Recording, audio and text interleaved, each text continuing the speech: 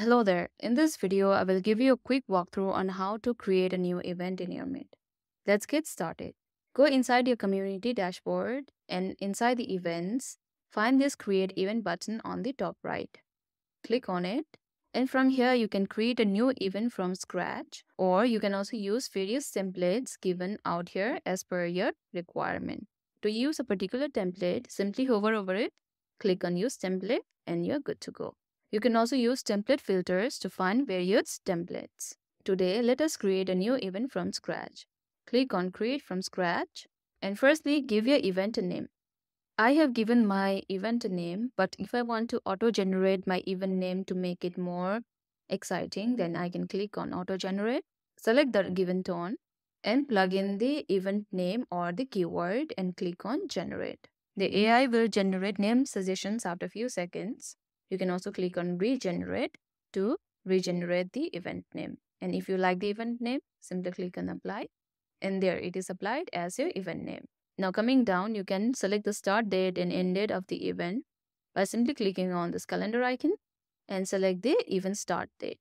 As you can see, the end date has been selected by default. You can click on this calendar icon again and change it as per your requirement. Now you can also select the start time and end time in the same way by clicking on this clock icon and selecting the time of your choice. Same with the end time. Coming down, you can also select the time zone, click on change and find the time zone that suits you and select it or you can also find them by their name. Now coming down, you can also select how will the attendees join this event. First option is virtually that is on the online platform. Second one will be hybrid. In this case, half of the participants will be joining online and half of the participants will be joining from the on-site section. And the third one is in person, which is coming soon. Today, we will select virtually. And from here, you can also set up your event entry type. That is, who can enter your event and how they can enter your event. Click on change. And there we have four type of event entry. The first one is anyone can enter via their unique link. In this case, people will be given a unique link and they will be able to join the event only by using that link. Second is only the people who are invited will be able to join your event and the people who can be invited are added through the CSV list. Third one is anyone who has your event link can join after they sign in to your event. And the last one is anyone who has a link can enter your event without signing in with their email address. Once done selecting the event entry, go ahead and save it. Now, coming on to the right, we have the event description. You can type in the event description manually or click on auto generate. Select the tone. Plug in the prompt for the AI to generate a description for you.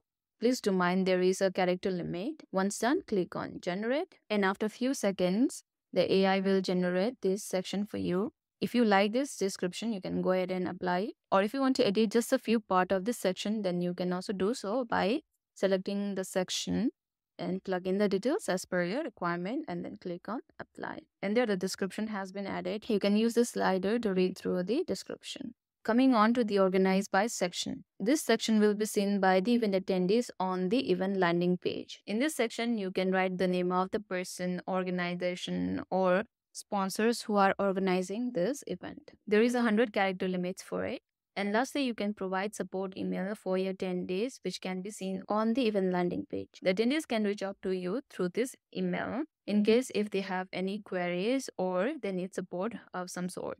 Plug in the email address that you want your attendees to reach out to. Once done, click on continue which will lead you to this part, which is the format part. In this section, you can choose what kind of event that you want to have. That is the webinar event or the virtual event. Once you are ready, click on create event and there your event is successfully created. Now you can go to the various part of this section and edit them as per your requirement. That's all for today. Hope you found this video helpful. Thank you for watching.